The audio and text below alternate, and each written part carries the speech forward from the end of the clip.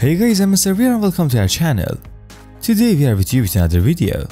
In this video, we are gonna watch Hande Erçel and Kerem latest news. Turkey has become one of the most best countries in the field of movies and series in the past few years. Certainly one of its most important reasons is because of the presence of such great actors like Hande and Kerem. They are both so successful in the field of acting and they attract so many fans from all over the world.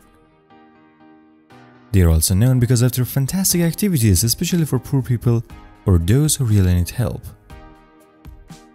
We've recently seen this, while the rich people really need help.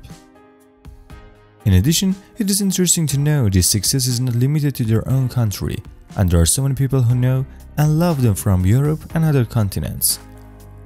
People always greet them so well in other countries, especially in their trips. We wish both of them health and wealth. Don't forget to like, comment and subscribe. And now to another video. Peace out.